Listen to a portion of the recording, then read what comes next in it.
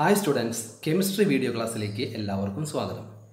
Plus two chemistry solution എന്ന unit ഏഴ് video ക്ലാസ്സുകളായി നിങ്ങളുടെ മുന്നിൽ അവതരിപ്പിച്ചു. ഇനി നമുക്ക് ഡിസ്കസ് ചെയ്യാനുള്ളത് മൂന്നാമത്തെ യൂണിറ്റായ ഇലക്ട്രോ കെമിസ്ട്രിയാണ് അതിൽ ഇലക്ട്രോ കെമിക്കൽ സെല്ലുകളെക്കുറിച്ചും ഇലക്ട്രോഡ് പൊട്ടൻഷ്യലിനെ കുറിച്ചും നമ്മൾ പഠിക്കും. നിങ്ങൾ ഈ ചാനൽ കാണുന്നത് ആദ്യമായെങ്കിൽ സബ്സ്ക്രൈബ് ചെയ്യുക തൊട്ടടുത്തുള്ള ബെല്ലൈക്കൺ ക്ലിക്ക് ചെയ്യുക. ക്ലാസ് ശ്രദ്ധാപൂർവം വീക്ഷിക്കുക. ഇലക്ട്രോ കെമിസ്ട്രി ഇവിടെ രണ്ട് സെല്ലുകളുടെ ചിത്രം കാണാം. ഇവ രണ്ടും ഇലക്ട്രോ കെമിക്കൽ സെല്ലുകളാണ്. നമുക്ക് പരിചയമുള്ളതാണ്. ക്ലോക്കിൽ ഉപയോഗിക്കുന്ന ഡ്രൈ സെല്ലാണിത്. വാഹനങ്ങളിലും ഇൻവെർട്ടറിലുമൊക്കെ ഉപയോഗിക്കുന്ന ലെഡ് സ്റ്റോറേജ് ബാറ്ററിയാണിത്. ഈ രണ്ട് സെല്ലുകളും ഇലക്ട്രോ കെമിക്കൽ സെല്ലുകളിൽപ്പെട്ടതാണ്. എന്താണ് ഇവയിൽ നടക്കുന്നത്? ഈ സെല്ലുകളിൽ നടക്കുന്ന ഒരു കെമിക്കൽ റിയാക്ഷന്റെ ഫലമായിട്ട് കെമിക്കൽ എനർജി ഉണ്ടാവുകയും അതിനെ ഇലക്ട്രിക്കൽ എനർജിയായിട്ട് മാറ്റുകയാണ് ഈ സെല്ലുകൾ ചെയ്യുന്നത്. എന്നാൽ ഇവിടെ കാണാൻ സാധിക്കും ഇലക്ട്രോളിറ്റിക് സെൽ ഇതിൽ നമ്മൾ ഇലക്ട്രിക്കൽ എനർജി അങ്ങോട്ട് കൊടുക്കുകയാണ് ചെയ്യുന്നത്. അവിടെ നോക്കിയാൽ കാണാം ഒരു സെല്ലിവിടെ കാണാം. ഈ സെല്ലിൽ നിന്നും ഇലക്ട്രിക്കൽ എനർജി ഒരു കെമിക്കൽ റിയാക്ഷൻ നടക്കാൻ വേണ്ടി അങ്ങോട്ട് കൊടുക്കുകയാണ് ചെയ്യുന്നത്. ഈ ടൈപ്പ് സെല്ലുകളാണ് ഇലക്ട്രോളിറ്റിക് സെൽ അങ്ങനെയാണെങ്കിൽ ഇലക്ട്രോ കെമിസ്ട്രി എന്താണെന്ന് നമുക്ക് പരിശോധിക്കാം. Electrochemistry is the study of production of electricity from energy released during a spontaneous chemical reaction. തനിയെ നടക്കുന്ന ഒരു കെമിക്കൽ റിയാക്ഷനിൽ നിന്ന് ലഭിക്കുന്ന കെമിക്കൽ എനർജിയെ ഇലക്ട്രിക്കൽ എനർജിയായിട്ട് മാറ്റുന്ന കെമിസ്ട്രിയുടെ സ്റ്റഡിയെയാണ് ഇലക്ട്രോ കെമിസ്ട്രി എന്ന് വിളിക്കുന്നത്. അല്ലെങ്കിൽ പറയാൻ സാധിക്കും ഈ ഇലക്ട്രിക്കൽ എനർജി ഉപയോഗിച്ചുകൊണ്ട് നോൺ സ്പോണ്ടേനിയസ് ആയിട്ടുള്ള മറ്റ് കെമിക്കൽ റിയാക്ഷൻസ് നടത്താൻ സാധിക്കും. ആ ബ്രാഞ്ചിനെയും ഇലക്ട്രോ കെമിസ്ട്രി എന്ന് വിളിക്കാം. ഇലക്ട്രോ കെമിക്കൽ സെല്ലുകളെ ഗാൽവനിക് സെല്ലെന്നും വോൾട്ടേക് സെല്ലുമെന്ന് വിളിക്കാം. അതിന്റെ definition the cell in which electricity is produced by a spontaneous chemical reaction തനിയെ നടക്കുന്ന ഒരു കെമിക്കൽ റിയാക്ഷന്റെ ഫലമായിട്ട് ഉണ്ടാകുന്ന കെമിക്കൽ എനർജിയെ ഇലക്ട്രിക്കൽ എനർജിയായിട്ട് കൺവെർട്ട് ചെയ്യുന്ന സെല്ലുകളെയാണ് electrochemical cell or galvanic cell or voltaic cell എന്നൊക്കെ വിളിക്കുന്നത്. ഏറ്റവും നല്ല എക്സാമ്പിളാണ് ഡാനിയൽ സെൽ. രണ്ടാമത്തെ electrolytic cell it is a device used to carry out non spontaneous chemical reaction using electricity electricity ഉപയോഗിച്ചുകൊണ്ട് ഒരു നോൺ സ്പോണ്ടേനിയസ് കെമിക്കൽ റിയാക്ഷൻ നടത്താൻ ഉപയോഗിക്കുന്ന സെല്ലുകളെയാണ് ഇലക്ട്രോളിറ്റിക് സെൽ എന്ന് വിളിക്കുന്നത്. ഗാൽവനിക് സെല്ലിനെ എക്സാമ്പിളായിട്ടുള്ള ഡാനിയൽ സെല്ലിന്റെ ചിത്രമാണ് ഈ കാണിച്ചിരിക്കുന്നത്. ഇവിടെ ഒന്നാമത്തെ ബീക്കറിൽ സിങ്ക് എന്ന് പറയുന്ന മെറ്റലിന്റെ റോഡ് അതിന്റെ തന്നെ സാൾട്ട് സൊല്യൂഷനായിട്ടുള്ള സിങ്ക് സൾഫേറ്റ് സൊല്യൂഷനിൽ ഡിപ്പ് ചെയ്ത് വെച്ചിരിക്കുന്നു. രണ്ടാമത്തെ ബീക്കറിൽ കോപ്പർ എന്ന് പറയുന്ന മെറ്റലിന്റെ റോഡ് അതിന്റെ തന്നെ സാൾട്ട് സൊല്യൂഷനായിട്ടുള്ള കോപ്പർ സൾഫേറ്റ് സൊല്യൂഷനിൽ ഡിപ്പ് ചെയ്ത് വെച്ചിരിക്കുന്നു. ഇവിടെ സിങ്ക് എന്ന് പറയുന്ന മെറ്റൽ റോഡിനെയും കോപ്പർ എന്ന് പറയുന്ന മെറ്റൽ റോഡിനെയും നമ്മൾ ഇലക്ട്രോഡുകൾ എന്നാണ് വിളിക്കുന്നത്. ചെറിയ ക്ലാസ്സുകൾ നമ്മൾ പഠിച്ചിട്ടുണ്ട്. അതുപോലെ സിങ്ക് സൾഫേറ്റ് എന്ന് പറയുന്നത് കോപ്പർ സൾഫേറ്റ് എന്ന് പറയുന്നതും ഇലക്ട്രോലൈറ്റുകളാണ്. സിങ്ക് സൾഫേറ്റ് സൊല്യൂഷനിൽ സിങ്ക് അയോണുകളെയും സൾഫേറ്റ് അയോണുകളെയും കാണാം. കോപ്പർ സൾഫേറ്റ് സൊല്യൂഷനിൽ കോപ്പർ അയോണിനെയും സൾഫേറ്റ് അയോണിനെയും കാണാം. ഇനി ഈ രണ്ട് മെറ്റൽ ഇലക്ട്രോഡുകളെ പരസ്പരം കണക്ട് ചെയ്തിരിക്കുന്നത് ഒരു കണ്ടക്ടർ വയർ ഉപയോഗിച്ചുകൊണ്ടാണ്. ആ കണ്ടക്ടർ വയർ വോൾട്ട് മീറ്റർ വഴിയാണ് ബന്ധിപ്പിച്ചിരിക്കുന്നത്. അതുപോലെ ഈ രണ്ട് ഇലക്ട്രോലൈറ്റ് സൊല്യൂഷനുകളെയും കണക്ട് ചെയ്തിരിക്കുന്നത് ഒരു ഇൻവെർട്ടഡ് യൂട്യൂബ് ഉപയോഗിച്ചുകൊണ്ടാണ്. അതിനെ നമ്മൾ സാൾട്ട് ബ്രിഡ്ജ് എന്നാണ് വിളിക്കുക. ഇതിനകത്ത് സാധാരണ നിറയ്ക്കുക ഇനേർട്ട് ഇലക്ട്രോലൈറ്റ് ആയിട്ടുള്ള പൊട്ടാസ്യം ക്ലോറൈഡ് അമോണിയ നൈട്രേറ്റ് തുടങ്ങിയവയുടെ സെമി സോളിഡ് പേസ്റ്റാണ് ഇതിനകത്ത് നിറയ്ക്കുക. ഇനി ഇതിനകത്ത് എങ്ങനെയാണ് ഇലക്ട്രിക്കൽ എനർജി ഉണ്ടാകുന്നത് ശ്രദ്ധിക്കാം. ഈ ഫസ്റ്റ് ബീക്കറിൽ സിങ്ക് എന്ന് പറയുന്ന മെറ്റൽ റോഡ് സിങ്ക് സൾഫേറ്റ് സൊല്യൂഷനിൽ മുങ്ങിയിരിക്കുകയാണ്. ആ സമയത്ത് ഈ സിങ്ക് മെറ്റലിന്റെ റോഡ് ഉണ്ടാക്കിയിരിക്കുന്നത് അനേകം സിങ്കാറ്റങ്ങൾ കൊണ്ടാണ്. അതിന്റെ ഒരു ക്ലോസ് വ്യൂ ആണ് ഈ കാണുന്നത്. ഇതൊക്കെ സിങ്കാറ്റങ്ങളാണ്. ഇതിലുള്ള ഓരോ സിങ്കാറ്റവും രണ്ട് ഇലക്ട്രോണിനെ ഡൊണേറ്റ് ചെയ്ത് സിങ്ക് ടു പ്ലസ് എന്ന് പറയുന്ന അയോണായി ഈ സൊല്യൂഷനിലേക്ക് ഇറങ്ങി വരും. അതിന്റെ ചിത്രമാണ് ഈ കാണുന്നത്. അതായത് നമുക്കറിയാം ഇലക്ട്രോണുകളെ ഡൊണേറ്റ് ചെയ്യും. ഇലക്ട്രോണുകളെ വിട്ടുകൊടുക്കുന്ന പ്രവർത്തനം ഓക്സിഡേഷനാണ് ഓക്സീകരണം. അപ്പോൾ സിങ്ക് അണ്ടർഗോ ഓക്സിഡേഷൻ. അതിന്റെ ഇക്വേഷനാണ് താഴെ കൊടുത്തിരിക്കുന്നത്. Z N that gives Z N two plus plus two electron zinc is oxidised to Z N two plus ion ഇനി ഇവിടെ ഉണ്ടാകുന്ന ഇലക്ട്രോണുകൾ ഈ എക്സ്റ്റേണൽ കണ്ടക്ടർ വഴി കോപ്പർ ഇലക്ട്രോഡിലെത്തുന്നു കോപ്പർ ഇലക്ട്രോഡിൽ എന്താണ് സംഭവിക്കുന്നത്? ഇവിടെ എത്തിക്കഴിഞ്ഞാൽ കോപ്പർ സൾഫേറ്റ് സൊല്യൂഷനിൽ ധാരാളം കോപ്പർ അയോൺസും ഉണ്ട് സൾഫേറ്റ് അയോൺസും ഉണ്ട്. അതിന്റെ ഒരു ക്ലോസ് വ്യൂ ആണ് കാണുന്നത്. ഈ കാണുന്നത് കോപ്പറിന്റെ ആറ്റങ്ങളാണ്. ഇവിടെ കാണുന്നത് ചിലത് കോപ്പർ അയോൺസുകളാണ്. ഈ കോപ്പർ അയോണുകൾ ഇവിടെ നിന്ന് വരുന്ന ഇലക്ട്രോണിനെ ആക്സെപ്റ്റ് ചെയ്തിട്ട് കോപ്പറായിട്ട് മാറും. നമ്മൾ പഠിച്ചിട്ടുണ്ട് ഇലക്ട്രോണുകളെ ആക്സെപ്റ്റ് ചെയ്യുന്ന പ്രോസസ്സ് റിഡക്ഷനാണ് നിരോക്സീകരണമാണ് അതിന്റെ ഇക്വേഷനാണ് താഴെ കൊടുത്തിരിക്കുന്നത്. ഒരു കോപ്പർ ടു പ്ലസ് അയോൺ രണ്ട് ഇലക്ട്രോൺ ആക്സെപ്റ്റ് ചെയ്ത് കോപ്പറായിട്ട് മാറുന്നു. അതായത് copper two plus is reduced to copper at cathode. ഇവിടെ സിങ്ക് ഇലക്ട്രോഡിനെ ആനോഡ് എന്ന് വിളിക്കുന്നു. അങ്ങനെയാണെങ്കിൽ നമുക്ക് പറയാം ആനോഡിൽ ഓക്സിഡേഷൻ നടക്കുന്നു. The electrode in which oxidation occurs is called anode. Copper ഇലക്ട്രോഡിനെ cathode എന്ന് വിളിക്കുന്നു. അതായത് കോപ്പർ എന്ന് പറയുന്ന ഇലക്ട്രോഡിൽ റിഡക്ഷൻ നടക്കുന്നു. The electrode in which reduction occurs is called cathode. Galvanic സെല്ലിൽ നടക്കുന്ന റിയാക്ഷൻസ് ഒന്ന് പരിശോധിക്കാം. ആനോഡിൽ നടക്കുക ഓക്സിഡേഷനാണ്. Zinc gives Z N two plus plus two electron അതിനെ ഓക്സിഡേഷൻ ഹാഫ് റിയാക്ഷൻ എന്ന് വിളിക്കാം. കാഥോഡിൽ നടക്കുക റിഡക്ഷനാണ് നിരോക്സീകരണം. Copper two plus plus two electron that gives copper അതിനെ റിഡക്ഷൻ ഹാഫ് റിയാക്ഷൻ എന്ന് വിളിക്കാം. ഈ ആനോഡിലെയും കാഥോഡിലെയും റിയാക്ഷൻസ് ആഡ് ചെയ്ത് കഴിഞ്ഞാൽ നമുക്ക് ഈ സെല്ലിൽ നടക്കുന്ന നെറ്റ് റിയാക്ഷൻ അതായത് ഓവറോൾ റിയാക്ഷൻ ലഭിക്കും. നമുക്കറിയാം ഇക്വേഷൻസ് എങ്ങനെയാണ് ആഡ് ചെയ്യുക. ലെഫ്റ്റ് ഹാൻഡ് സൈഡും ലെഫ്റ്റ് ഹാൻഡ് സൈഡും ആഡ് ചെയ്യുക. Right hand side right hand സൈഡും ആഡ് ചെയ്യുക. സെയിം ആയി വരുന്നവ ക്യാൻസൽ ചെയ്യുക.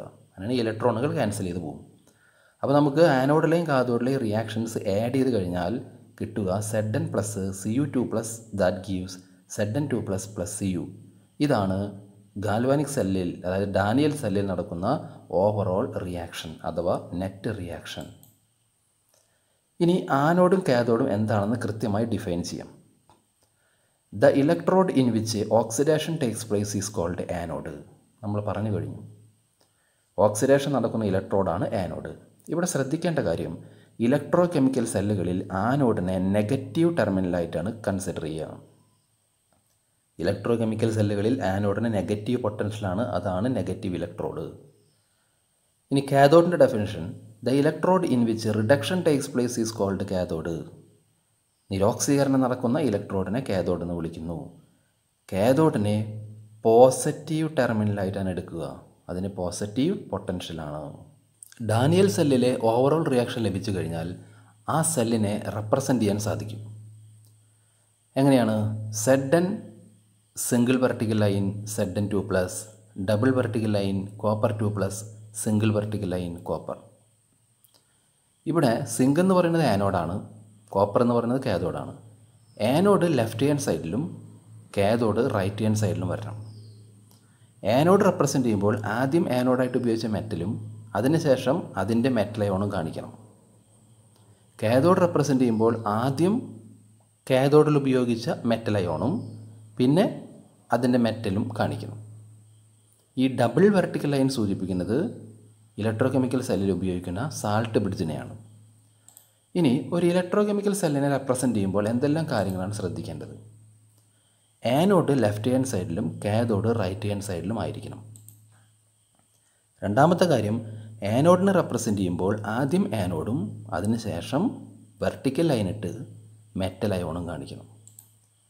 കാഥോഡിനെ റെപ്രസെന്റ് ചെയ്യുമ്പോൾ ആദ്യം മെറ്റൽ അയോണും വെർട്ടിക്കൽ ലൈനിട്ട് മെറ്റൽ ലൈനും കാണിക്കണം. ഈ വെർട്ടിക്കൽ ലൈൻ സൂചിപ്പിക്കുന്നത് മെറ്റലും മെറ്റലയോണും തമ്മിലുള്ള ആ ഒരു ഡിഫറൻസാണ് സൂചിപ്പിക്കുന്നത്. ഡബിൾ വെർട്ടിക്കൽ ലൈൻ സൂചിപ്പിക്കുന്നത് സാൾട്ട് ബ്രിഡ്ജാണ് സാൾട്ട് ബ്രിഡ്ജ് ഈ ഇലക്ട്രോ കെമിക്കൽ സെല്ലിൽ രണ്ട് ഇലക്ട്രോലൈറ്റ് സൊല്യൂഷനുകളെയും തമ്മിൽ ബന്ധിപ്പിക്കുന്ന സാൾട്ട് ബ്രിഡ്ജ് കാണാൻ സാധിക്കും. ഈ സാൾട്ട് ബ്രിഡ്ജ് എന്നുള്ളത് ഒരു ഇൻവെർട്ടഡ് ഗ്ലാസ് യൂട്യൂബാണ് ഇതിൽ നിറച്ചിരിക്കുന്നത് ഇനർട്ട് ഇലക്ട്രോലൈറ്റ് ആയിട്ടുള്ള പൊട്ടാസ്യം ക്ലോറൈഡോ അമോണിയ നൈട്രേറ്റോ ഏതെങ്കിലും ഒന്നിന്റെ ഒരു സെമി സോളിഡ് പേസ്റ്റാണ് ഇതിൽ നിറച്ചിരിക്കുന്നത്. ഇപ്പോൾ സാൾട്ട് ബ്രിഡ്ജിന്റെ ഡെഫിനേഷൻ ഒന്ന് ശ്രദ്ധിക്കുക. An inverted U tube filled with a paste of agar agar in the solution of inert electrolyte like K C L ammonia nitrate etcetera salt ബ്രിഡ്ജിന്റെ functions എന്തൊക്കെയാണ്? ഒന്ന് it completes the electrical circuit by allowing the ions to flow through it അതായത് ഈ zinc ഇലക്ട്രോഡിൽ oxidation നടക്കുന്നതിന്റെ ഫലമായിട്ട് ഈ ഇലക്ട്രോലൈറ്റിൽ zinc അയോൺസുകളുടെ എണ്ണം കൂടി കൂടി വരും. അതിന്റെ ഫലമായിട്ട് ഇവിടെ പോസിറ്റീവ് ചാർജിന്റെ സ്ട്രെങ്ത് കൂടുകയും ഇലക്ട്രോണുകൾക്ക് മുകളിലോട്ട് ഫ്ലോ ചെയ്യാൻ സാധിക്കാതെ വരികയും ചെയ്യും. ആ സമയത്ത് സാൾട്ട് ബ്രിഡ്ജിൽ അടങ്ങിയിരിക്കുന്ന നെഗറ്റീവ് അയോൺസുകൾ ഈ ഇലക്ട്രോലൈറ്റിലേക്ക് ഇറങ്ങി വന്ന് ഈ സൊല്യൂഷനെ ന്യൂട്രലൈസ് ചെയ്യും. അതുപോലെ കോപ്പർ ഇലക്ട്രോഡിൽ എന്താണ് സംഭവിക്കുക? ഇവിടെ കോപ്പർ അയോൺസുകളുടെ എണ്ണം കുറയും. അതായത് സൾഫേറ്റ് അയോണുകളുടെ എണ്ണം താരതമ്യേന കൂടുതലായതിനാൽ ഈ സൊല്യൂഷന് നെഗറ്റീവ് ചാർജ് ആയിരിക്കും കൂടുക. അപ്പോൾ ഈ സൊല്യൂഷനെ ന്യൂട്രലൈസ് ചെയ്യുന്നതിന് വേണ്ടി ഈ സാൾട്ട് ബ്രിഡ്ജിൽ നിന്ന് പോസിറ്റീവ് അയോൺസ് താഴേക്ക് ഇറങ്ങി വന്ന് ഇതിനെ ന്യൂട്രലൈസ് ചെയ്യുന്നു. അതുകൊണ്ടാണ് പറയുന്നത് സാൾട്ട് ബ്രിഡ്ജിനകത്ത് അയോൺസുകൾ രണ്ട് സൊല്യൂഷനിലേക്കും ഫ്ലോ ചെയ്യുന്നു. It allow the ions to flow through it രണ്ടാമത്തെ function to maintain electrical neutrality of the solution in the half cell ഇനി നമുക്ക് ഡാനിയൽ സെല്ലിന്റെ വർക്കിംഗ് കാണിക്കുന്ന ഒരു അനിമേറ്റഡ് വീഡിയോ ശ്രദ്ധിക്കാം. ഒരു ബീക്കറിൽ സിങ്ക് റോഡ് സിങ്ക് സൾഫേറ്റ് സൊല്യൂഷനിലും കോപ്പർ റോഡ് കോപ്പർ സൾഫേറ്റ് സൊല്യൂഷനിലും ഡിപ്പ് ചെയ്ത് വെച്ചിരിക്കുന്നു. ഇത് സാൾട്ട് ബ്രിഡ്ജ് കാണാൻ സാധിക്കും. ഇത് സിങ്ക് സൾഫേറ്റ് സൊല്യൂഷനിൽ സെങ്ക് അയോൺസും സൾഫേറ്റ് അയോണും കാണാൻ സാധിക്കും.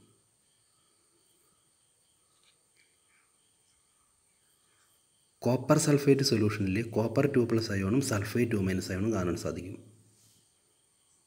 സാൾട്ട് ബ്രിഡ്ജിനകത്ത് പോസിറ്റീവ് അയോണും എൻ എ പ്ലസും നെഗറ്റീവ് അയോൺ സി എൽ മൈനസും കാണാം.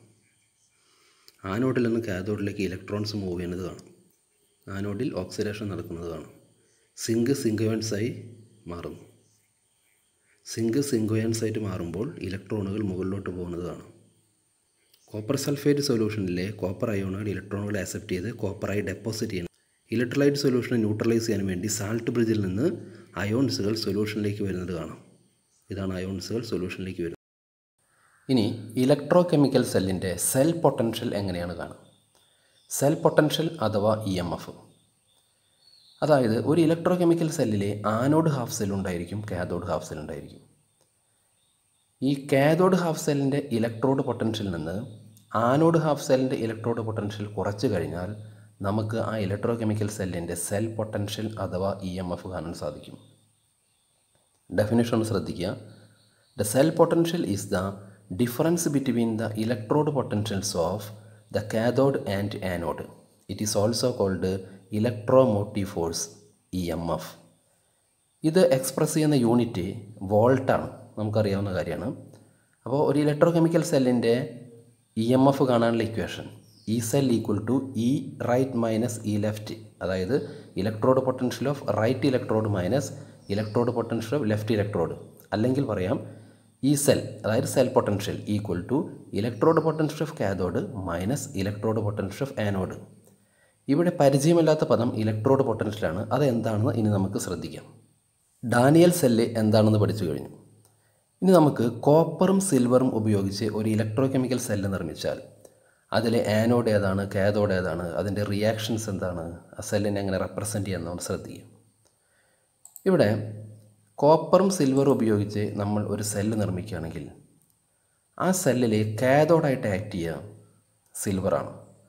ആ സിൽവറിന്റെ റിയാക്ഷനാണ് കാണുന്നത്. Two A G plus plus two electron that gives two A G ആനോഡായിട്ട് act ചെയ്യുക കോപ്പറാണ് അതിൽ copper oxidation വിധേയമാവുന്നു. Copper that gives copper two plus plus two electron ഇനി ആ സെല്ലിൽ നടക്കുന്ന ഓവറോൾ റിയാക്ഷൻ എങ്ങനെയാണ് കാണുക? ആനോഡിലെ റിയാക്ഷനും കാഥോഡിലെ റിയാക്ഷനും കൂടി ആഡ് ചെയ്യുക. ഇലക്ട്രോൺ ക്യാൻസൽ ചെയ്യുക. അങ്ങനെ വന്നു കഴിഞ്ഞാൽ നമുക്കതിലെ ഓവറോൾ റിയാക്ഷൻ കിട്ടും. C U plus two A G plus that gives C U two plus plus two A G ഇനി ഈ കോപ്പറും സിൽവറും കൂടി നിർമ്മിച്ച സെല്ലിനെ എങ്ങനെയാണ് റെപ്രസെന്റ് ചെയ്യുക? Copper single vertical line C U two plus double vertical line A G plus single vertical line A G double vertical line സൂചിപ്പിക്കുന്നത് salt ബ്രിഡ്ജിനെയാണ് ഇനി ആ ടൈപ്പ് സെല്ലുകളുടെ സെൽ പൊട്ടൻഷ്യൽ എങ്ങനെ കാണാം? E cell equal to E electrode potential of silver minus electrode potential of copper electrode potential Daniell സെല്ലിന്റെ ഇമേജാണ് ഈ കാണുന്നത്. ഇതിൽ ഇലക്ട്രോഡുകൾ കണക്ട് ചെയ്യാൻ എക്സ്റ്റേണൽ വയറില്ല സാൾട്ട് ബ്രിഡ്ജില്ല. അപ്പോൾ എന്താണ് സംഭവിക്കുക? ഈ സിങ്ക് എന്ന് പറയുന്ന ഇലക്ട്രോഡിൽ ഓക്സിഡേഷൻ നടക്കുന്നതിന്റെ ഫലമായിട്ട് ഈ സൊല്യൂഷനിൽ സിങ്ക് അയോൺസുകളുടെ എണ്ണം കൂടി കൂടി വരും. അതായത് സൊല്യൂഷന് പോസിറ്റീവ് ചാർജ് ലഭിക്കും. ഈ ഇലക്ട്രോണുകൾ എങ്ങോട്ടും പോകാൻ സാധിക്കാതെ ഈ മെറ്റൽ ഇലക്ട്രോഡിൽ അക്യുമുലേറ്റ് ചെയ്യും. അങ്ങനെയാണെങ്കിൽ ഈ മെറ്റൽ ഇലക്ട്രോഡും ഈ സൊല്യൂഷനും തമ്മിൽ ഒരു പൊട്ടൻഷ്യൽ ഡിഫറൻസ് സെറ്റപ്പ് ചെയ്യും. ഇനി ഇവിടെ എന്താണ് സംഭവിക്കുക? ഇവിടെ കോപ്പർ സൾഫേറ്റ് സൊല്യൂഷനിലെ കോപ്പർ അയോൺസുകൾ reduction വിധേയമാവും.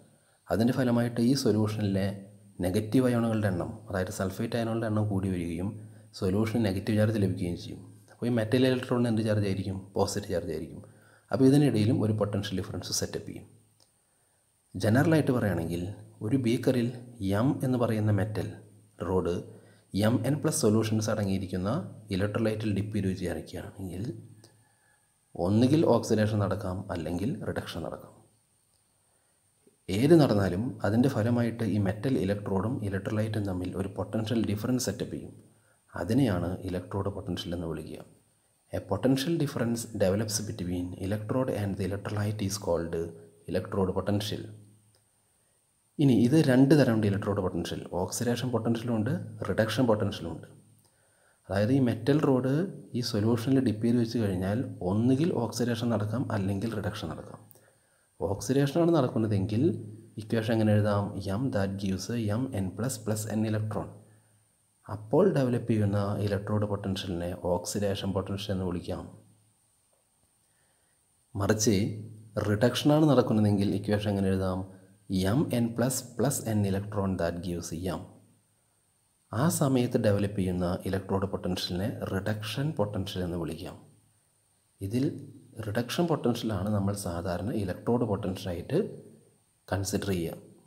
Standard electrode potential it is represented as capital E zero നമ്മൾ നിർമ്മിച്ച ഇലക്ട്രോലൈറ്റ് സൊല്യൂഷനിലെ ഇലക്ട്രോലൈറ്റിന്റെ കോൺസെൻട്രേഷൻ വൺ മോളാർ ആയിരിക്കും. അതായത് യൂണിറ്റി ആയിരിക്കുക ഇനി ഇലക്ട്രോലൈറ്റിൽ ഏതെങ്കിലും ഗ്യാസ് പാസ് ചെയ്യുന്നുണ്ടെങ്കിൽ അത് വൺ ബാർ പ്രഷറിൽ ഗ്യാസ് പാസ് ചെയ്യുക ഇലക്ട്രോഡ് പൊട്ടൻഷ്യൽ മെഷർ ചെയ്യുന്നത് ടു നയന്റി എയ്റ്റ് കെൽവിൻ ടെമ്പറേച്ചറിലുമാണെങ്കിൽ അപ്പോൾ ഉണ്ടാകുന്ന ഇലക്ട്രോഡ് പൊട്ടൻഷ്യലിനെയാണ് സ്റ്റാൻഡേർഡ് ഇലക്ട്രോഡ് പൊട്ടൻഷ്യൽ എന്ന് വിളിക്കുന്നത്.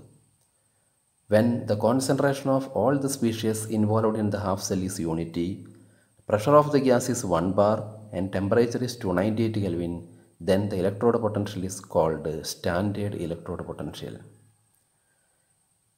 According to IUPAC convention, standard reduction potentials are called standard electrode potential. അതായത് ഓക്സിഡേഷൻ പൊട്ടൻഷ്യലുണ്ട് റിഡക്ഷൻ പൊട്ടൻഷ്യലുണ്ട് സ്റ്റാൻഡേർഡ് റിഡക്ഷൻ പൊട്ടൻഷ്യൽസിനെയാണ് നമ്മൾ സ്റ്റാൻഡേർഡ് ഇലക്ട്രോഡ് പൊട്ടൻഷ്യലായിട്ട് എടുക്കുന്നത് ക്ലാസ് കണ്ടുവല്ലോ ഇന്ന് എന്തൊക്കെയാണ് പഠിച്ചത് ഇലക്ട്രോ കെമിസ്ട്രി എന്ന യൂണിറ്റിലെ ഇലക്ട്രോ കെമിക്കൽ സെല്ലുകളെക്കുറിച്ചും ഇലക്ട്രോഡ് പൊട്ടൻഷ്യലിനെ കുറിച്ചും പഠിച്ചു. അടുത്ത ക്ലാസ്സിൽ ഇലക്ട്രോഡ് പൊട്ടൻഷ്യൽ എങ്ങനെ മെഷർ ചെയ്യുന്നു എന്ന് നമുക്ക് പഠിക്കാം. തുടർന്നുള്ള ക്ലാസ്സുകൾ നിങ്ങൾക്ക് ലഭ്യമാകാൻ സബ്സ്ക്രൈബ് ചെയ്യാൻ മറക്കരുത്. താങ്ക്